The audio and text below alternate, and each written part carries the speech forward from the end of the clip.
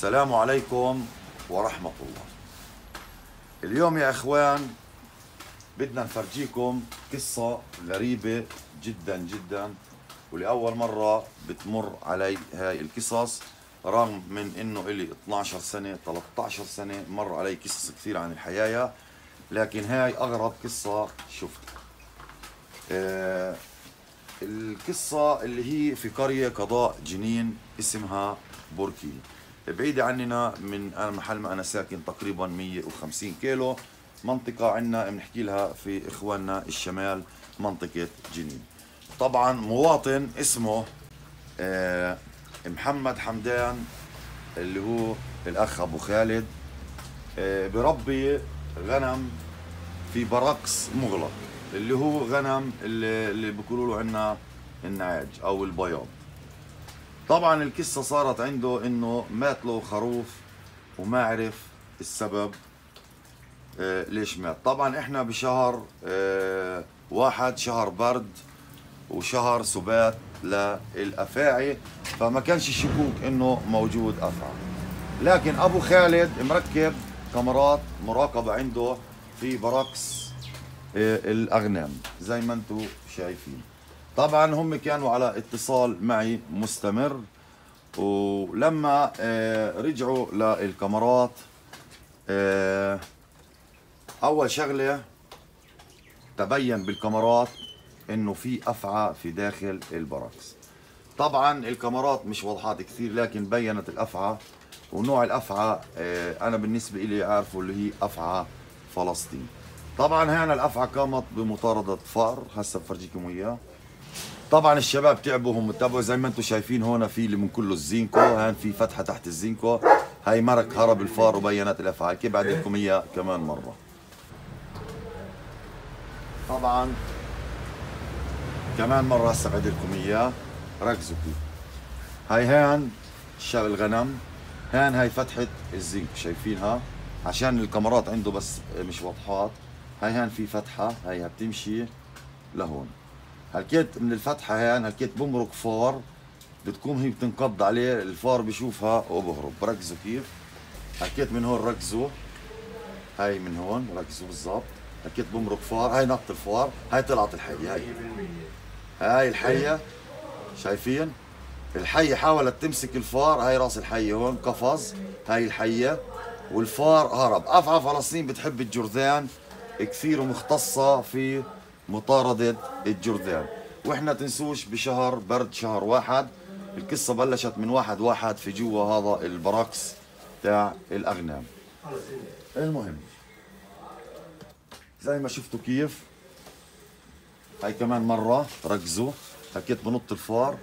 هاي قفز هاي قفزة الحية 100% بالضبط 100% بين واضح. لكن هذا من عندهم التصوير. الكاميرات يبدو إنه مش من اللي واضحة في الشيء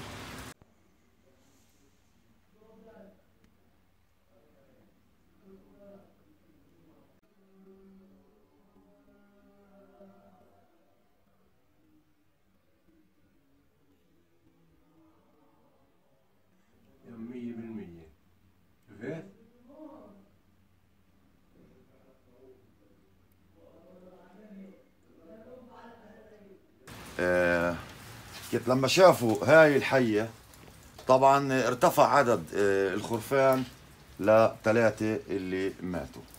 آه الغريب بالموضوع إنه أثناء متابعتهم للكاميرات الحية راكبة فوق النعجة. يعني الحية طالعة فوق الخروف وقاعدة على فوق الخروف وكارسته كمان شوفوا كيف كارسته وموجودة فوق الخروف وبينت على الكاميرات. يبدو إنها طالعة فوق الخروف وبتمتص حرارة جسم الخروف لأنه الحية من ذوات الدم البارد والدنيا برد. قد ما بده يكون البركس عندهم دافي آه، لكن بكون برد آه، يعني مش بنشاط مش وقت نشاط أفعى فلسطين بالذات. لكن هي بتكتسب الحرارة من وين؟ من جسم الخروف. حكيت فرجيكم كيف الحية كانت فوق الخروف. طبعا الخروف اللي كانت الحية راكبة فوقه على ظهر الخروف آه، قرصته نفس الخروف آه، مات. اللي الحية موجودة فوقه أفعى فلسطين السامة. طبعا ركزوا. هاي قديش بقدر أنا بورجيكم وين الحية واضحة. هاي شفتوا كيف الخروف آه، زي القفص يبدو إنه لدغته عدة مرات والافعى موجودة أهم. هاي الافعى هاي الأفعى هاي نازلة من هون هاي هاي. لحظة شوي هسه بورجيكم إياها. وراها ورا.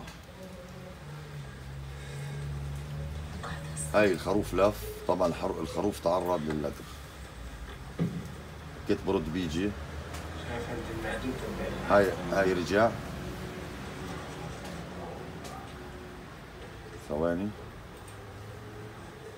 هاي عاود. دخل بين الغنم؟ لأنه أنا هيك وصلني يعني هي ابيض آه اهدي. أيوه أخرى شوي. هاي رجعت. هايو. هايو هاي الخروف أو هي أنثى. أنثى خروف.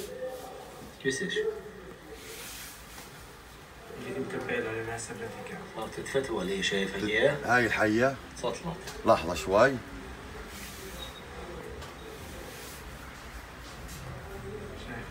وين شايفين كيف الغنمة بوضعها مش طبيعي؟ بتقع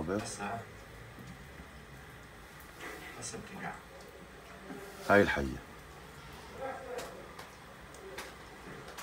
هاي الغنمة وقعت شفتوا كيف؟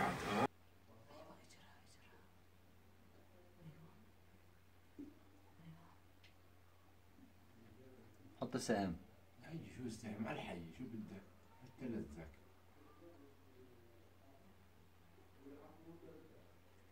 بس انت خليك متبع إذا راح السهم مشان تشوف الماتيكا.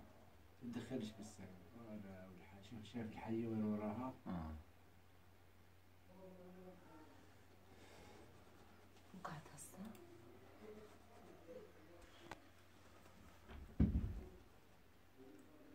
شايف أنت المعدوم متبع لها؟ آه.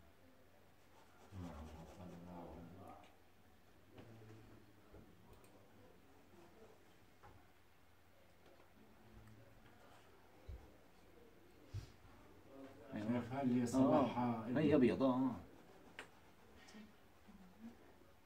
اهدي. أيوه كرب أخرى شوي هسه ألف ألف ألف ألف ألف ألف ألف. هي إجت على السهم مش السهم جاي. جسش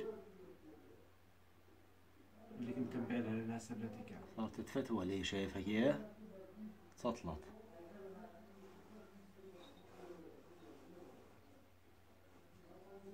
سطلت شايف الويل هسه بلاتيكا هون خليك متبع هسه. هسه بتقع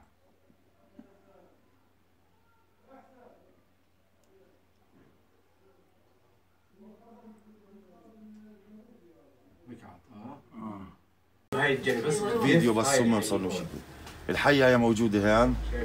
الحية لونها على بني أرقط اللي حافة فلسطين معروف فيش غيرها هاي الحية هاي. شايفين؟ هذه الأفعى لكن مش واضح كثير.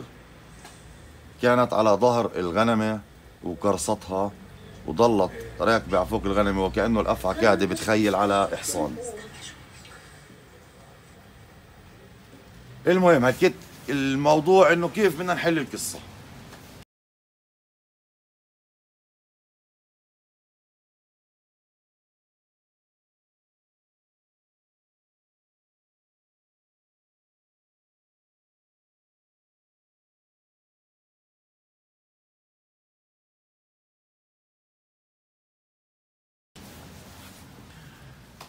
كيف بدي احل لهم القصة؟ القصة إنه بدنا إيش؟